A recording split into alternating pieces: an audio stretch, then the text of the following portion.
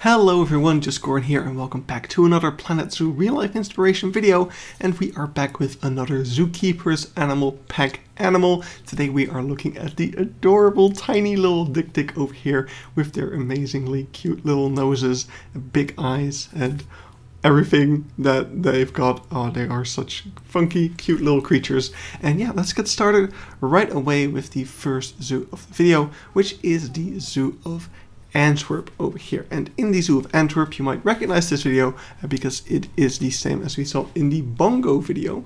Uh, yeah, because in Antwerp, the Dik-Dik share their habitat with the Bongo over here. So we've got a very nice large habitat uh, because of course the bongo need quite a lot more space than the dik-dik would if they were to be alone. But over there near the bamboo we can actually see the dik-dik lying over there just kind of chilling a little bit. And yeah, I always feel like with an enclosure this big, it's going to be very hard to spot a small little animal like the dik-dik, but that often isn't the case. At least I've seen them in quite a lot of these enclosures.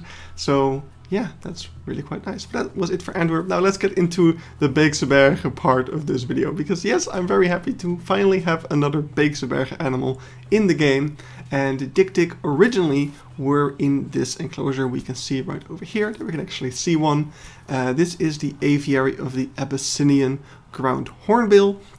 And it was a shared enclosure with the Dik-Dik as well. But you rarely ever saw the Dik-Dik. I think in the like 30 times I visited the zoo during the course of this exhibit was still there. Uh, I maybe saw the Dik Dik twice, maybe three times. Uh, and the thing is, they had the backstage and they had a back holding. Uh, they never really came to the front all that often. You could also see the ground hornbill, by the way. And here you can see the habitat in a bit more of a lush state, but that was all the footage I have of it. And now, uh, I already mentioned, they used to be there. Uh, the Dik-Dik have moved as that habitat that we just saw has been completely destroyed to make room for the Elephant Valley. So over here we're looking at the Secretary Bird Aviary, and no, don't worry for the Dik-Dik, they are not sharing this space with the Secretary Birds. The Secretary Birds have moved to the Elephant Valley, and the Dik-Dik and the Abyssinian ground hornbill has have moved into this aviary over here. So here we can see the Dik-Dik, and here we can see Hornbill uh, with their trying to sell me some meats by the looks of it. Uh, so yeah, this habitat has been uh, taken in by them. But not just that, the Dik-Dik have also moved somewhere else, and I'm not actually sure if they're still in the Secretary Bird aviary or not, uh, which I'm still calling it that even though there's not secretary birds anymore. But anyway, uh, this is another enclosure where you can find the dik-dik. This is the Okapi enclosure. Uh, so this has the Okapi, the Nyala, as well as the dik-dik nowadays. So super large enclosure over here. But out of all the three enclosures, uh, that we've seen here from the Beekse Bergen, this is the enclosure where I've actually seen them the most in, or well, not necessarily this one, but also the other one, uh, but they're so active. Pretty much all the footage you saw at the beginning of the video was taken in one of these two enclosures. Uh, it's just really, really cool. So over here in the indoor part of this enclosure, you can also see there's a tiny little door over there, uh, which of course is for the Dik-Dik to get in and out. Um, this was actually originally built for the red duiker, uh, which is another small uh, ungulate from Africa. But uh, the zoo doesn't have those anymore, so for a while those tiny doors didn't really have a purpose. But now the Dik-Dik have moved in here, and uh, it's all going good. I think they had moved the Dik-Dik here before, and it didn't really work out, but now they're back.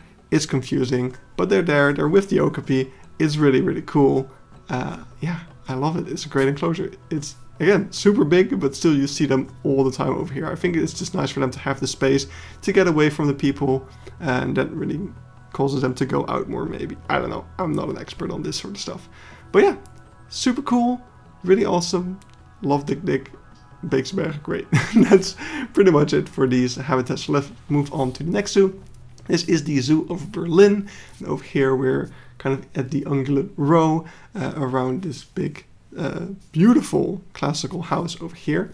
And um, yeah, this over here is another shared enclosure with the Dik-Dik and the Gerenuk, which this was my first time seeing Gerenuk, so that was really cool. Uh, but yeah, you can see this very classic enclosure with the U moat over here.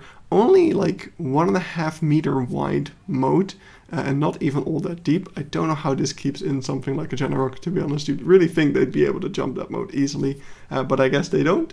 And um, yeah, this also is home to Dik Dik. I didn't see them outside uh, or inside actually, now that I think of it. But uh, supposedly they are here. So that was the outside enclosure. Let's quickly look uh, inside this beautiful building over here. Uh, this is the stable building, the giraffe house, I guess you could also say, but it has stables for all sorts of savanna animals. But this particular part over here that we can already see from the entrance is the uh, stable for the Dik Dik. This is the indoor holding for them. So yeah, nice big space uh, with a couple of places to hide. Yeah, just look at this beautiful structure over here and lovely greenhouse in the middle of it as well. Really, really awesome building. It is just absolutely gorgeous. There's a lovely looking bench over here. It feels so modern, this interior. They probably changed it around at some point. Anyway, over here uh, we can see the stalls for the Gerenuk.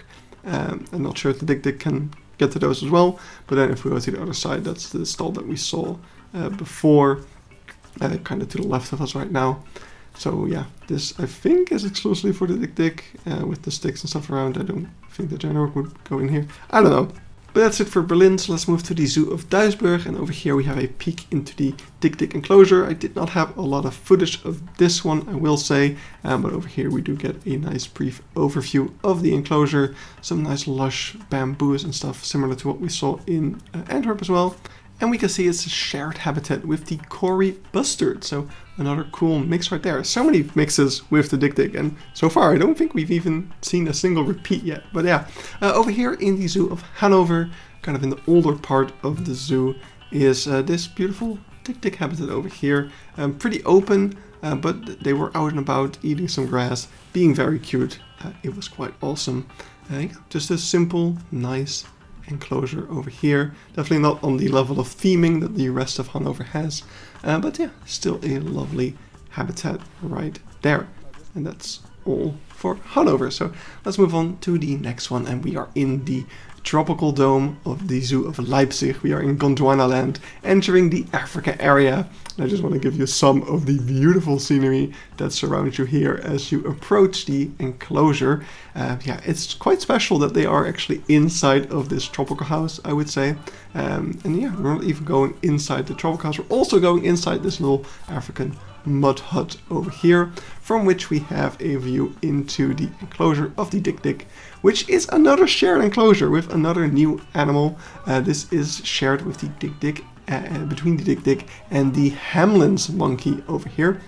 So there, of course, you can see a bunch of climbing frames for the monkeys to uh, to go about, and the Dik Dik have the ground space for themselves. Uh, what surprised me is that they actually get really close up to the glass over here, um, probably because that's where they put the food, but still it was really awesome to see, um, yeah, have them have such good visibility over here. So yeah, pretty freaking cool right there. The next up we have the Zoo of Osnabrück, where the Dik Dik have this simple enclosure uh, alongside the giraffe stall over here. So as we enter the giraffe stalls, uh, we can see the indoor enclosure of the Dik Dik to the side over here. Uh, I'm not sure, I don't think the Dik Dik can get into the giraffe enclosure or anything like that. They just have their own little separate enclosure uh, that we just saw. Yeah, we can see they have a bunch of them in there and just a tiny little door to, to go to the outside enclosure, which you can see in a bit more detail over here. It's pretty simple. But uh, yeah, that's it for Osnabrück. Next up, we have the Zoo of Rostock, uh, where we have this kind of larger savanna yard. We also saw this one in the sable antelope video, because this habitat also has not the sable antelope, but the roan antelope, which we also included in that video. And yeah, it also has the Dik Dik in here. And this is where I told Pacha I was here with, with Pacha Kamek, and I said, wow, you, how are you ever going to spot a Dik Dik in here? And then he just pointed and was like, look, there's one. I was like, okay, well, point taken. Uh, it is possible to spot the tiny little Dik Dik in the giant uh, savanna habitat over here. So yeah, no, no complaints, I guess. it's just uh, a very spottable animal, I suppose. Anyway, next up is the Zoo of Schwerin, where we are at the red list building over here, the Red List Center, I should say. Uh, it's a really lovely building with the wooden outside and the kind of mud wall uh, inside over here, and all about, of course, endangered species that are on the red list. So here we can see a little kitchen, really cool stuff. But what we're here for, of course, is the Dik Dik over here and we can see a lovely enclosure. This is the indoor enclosure and we can see a bird flying around. That is the uh, red-crested Turaco Really cool bird. I love them, especially when they're flying around like they're doing right now. You can see those bright red colors on the wings. So cool. Uh, but we're not here for the Turaco. We're here for the Dik Dik, which is standing over there in the doorway. And as we go outside, uh, we can see a bit of their enclosure back uh, behind this thing, actually. Uh, that's where that leads into. And if we pan around over here, we can actually see some of the giraffe habitat that's behind here. And I'm showing just a little bit of that because the Dik-Dik enclosure does connect to the giraffe enclosure. Although currently uh, the connection point is not open up. And as we get back to the front of the building over here, we get a better view of the Dik-Dik enclosure, uh, which is right here. And you can see in there, there is actually a gate that could be opened up to let them in to the um, giraffe enclosure. Uh, but that is something that they're still training the Dik-Dik to do. Uh, this used to be a yellow-backed duiker habitat, and they were actually were really close to having the duikers trained uh, well enough that they would return to this enclosure for the night. Um, but the Dik-Dik have not been trained enough just yet. So at some point they will be on the giraffe enclosure as well, um, but they just need to be ready for it because they cannot be left outside during the night and stuff because it's very dangerous with things like foxes that definitely could hunt down a Dik-Dik. So yeah, it's important they go they go home at night. So yeah. Uh, that was it for Schwerin. Next up we have Der Grüne Zoo Wuppertal, uh, where also in the Africa area, coincidentally actually across this habitat is the Okapi habitat that also has yellow-backed duiker, which uh, we just mentioned as well in Schwerin. Uh, but yeah, this is the enclosure. Uh, pretty simple, but very lush, quite nice as well. Don't think I've ever seen the Dik-Dik outside here in the two times I went. But yeah, still pretty cool enclosure right there. And then lastly, we have Dierenpark Zie-Zoo, where I am uh, ashamed to admit I have very bad footage of this one. Uh, apparently, the two times I've gone back to the zoo with my GoPro, I never bothered to record this enclosure. Uh, so here we do have a view of their indoor area, very simple and um, efficient, I guess. And then this is the only footage that I have of the enclosure. Sorry, it's not anything better than this. Uh, but yeah, it's quite a nice large enclosure uh, with a very cagey backstage holding over there. Um, yeah, there's quite a few plants and bushes all around. But yeah, that was it for Dierenpark Zie-Zoo. And that's all the Dik Dik footage that I have to share with you guys. So hope you enjoyed, hope you got some Dik-Dik inspiration. And I will see you all in the next real life inspiration video. Thank you. Bye bye.